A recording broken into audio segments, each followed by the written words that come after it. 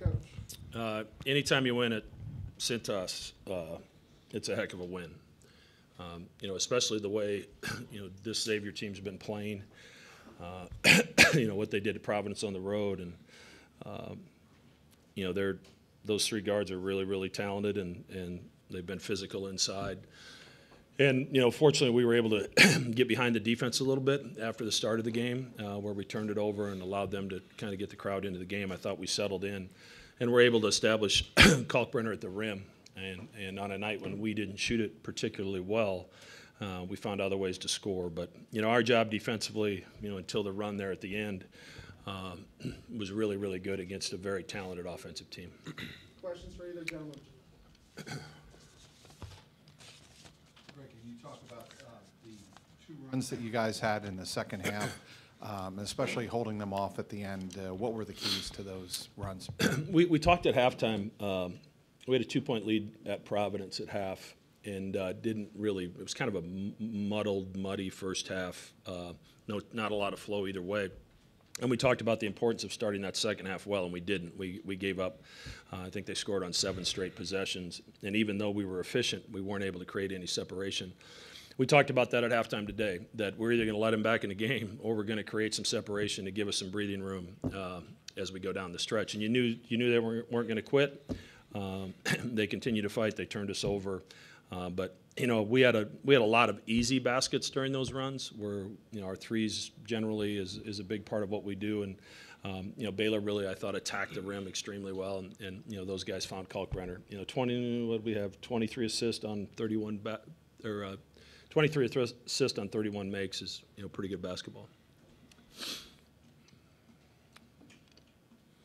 Baylor, can you talk about uh, the end of the first half, into the second half? I guess that was a 13 nothing run. You guys seemed to find a bit of an offensive groove, uh, like Coach was just saying, and um, the defense that you guys played was that even m- even more important than the offensive point production? Yeah, 100%. I think uh, the, the, the defense we played is what generated our offense. We were able to get out and run and kind of um, generate some easy looks at the rim and, and threes.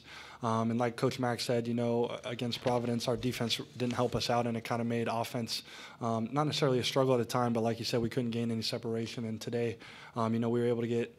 Uh, I think we started off with three stops in a row coming out of the second half, and we were able to score on, on five of our first seven. And um, you know, our defense is is the catalyst for our offense. Baylor, after a couple of close losses, losses, what was the mentality coming into this game? How important was it to avoid Mhm. Yeah, well, I mean, it's just uh, in this league, it's got to be next game mentality. You know, you have to be able to move on um, from one game and get ready for the next because um, there's no easy games in this league. And you know, there was definitely things that we saw in Providence that we thought we could improve on, and um, you know, we flipped the page and had two great days of prep um, to come in here and, and end up getting the victory.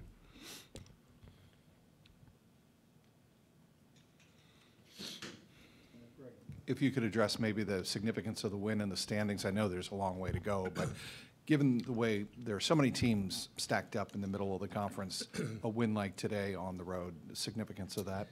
I mean, any anytime you win on the road, it's a, a huge boost for your program, especially when you've lost two at home like we have. Uh, you know, we, we have to find a you know whoever's going to be successful in this league when it's all said and done is is going to do a relatively good job of protecting their home floor.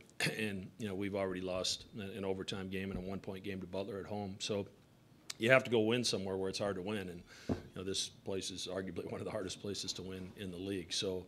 Uh, you know, we're getting closer to March, so you know games like this are important for your for your resume in March, and and I really think you know UConn has probably separated themselves a little bit from the rest of the league, deservedly so, and Marquette seems to have found their stride again. Um, the rest of us, I mean, throw us all in a hat, mix us up, and pull one out one day or the other. I mean, it's it, we're so closely. Uh, close together in the standings, and a lot of the games have come down to you know the last two or three minutes where it's anybody's game, and you know that's a sign of a really strong, healthy conference. Greg Trey played the full 40 minutes for you guys today. Didn't have his best shooting game, but gave a lot of assists. We did a lot of things. How big is that in a game like that to have a guy you can rely on, even when the shooting isn't going the way you expect it to? Yeah, ba- I mean Baylor got 38 seconds of rest today, and Steven got four, so we're moving the right direction, I guess. But uh, you know, I, I, I, have to rely on these guys, and uh, and, and they're conditioned to do it, not, not only physically, but mentally. And, and we understand what they can and can't do uh, in the, in the two days in practice leading up to a game so that they have enough in their tank uh, to, to finish a game like this one. And, and, you know, Trey didn't shoot it like he usually does tonight. He got to his spots and he missed shots, but he impacted the game in the other in other ways, defensively, making plays for others, handling the pressure at the end. So uh, he's really important to what we do, and and uh, you know we, we wouldn't be where we're at without him. Anything else? Thank you.